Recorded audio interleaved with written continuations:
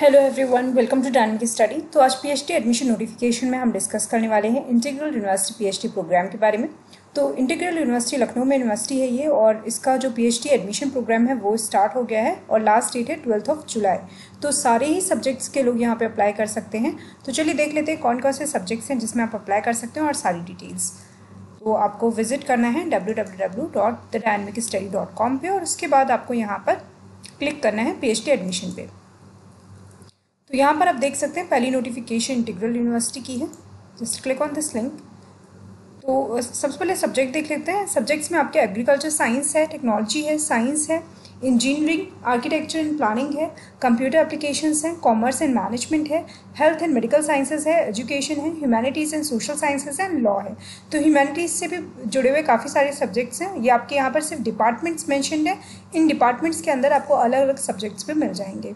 तो important date की अगर हम बात करें तो लास्ट डेट है इसकी ट्वेल्थ ऑफ़ जुलाई और डेट ऑफ़ एंट्रेंस एग्ज़ाम है आपकी एटीन ऑफ़ जुलाई तो ऑनलाइन मोड और ऑफलाइन मोड दोनों ही तरीके से दिया हुआ है कि किस तरीके से आप अप्लाई कर सकते हैं। अप्लीकेशन फ़ी है वन थाउज़ेंड रुपी और ये आपको मोड ऑफ़ पेमेंट आप ऑनलाइन भी कर सकते हैं और ऑफलाइन भी सेंड कर सकते हैं इसको। एंड सिलेक्शन आपका रिटर्न टेस्ट एंड इंटरव्यू के बेसिस पे होगा। अगर आपने कोई नेशनल लेवल का एग्ज़ाम दिया हुआ है तो आपको टेस्ट देने की ज़रूरत नहीं है। तो चलिए स्टार्ट करते हैं। इसी ऑफिशियल वेबसाइट को देख लेते हैं।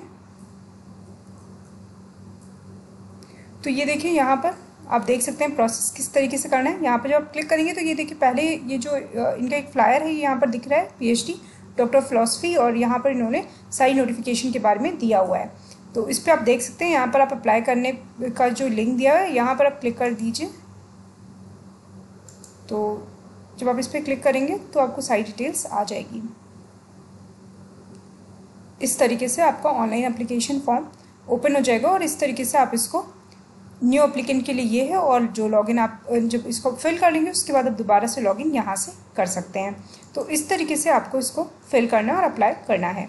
आई होप ये आपके लिए बेनिफिशियल होगा। Thank you so much keep on watching and keep on learning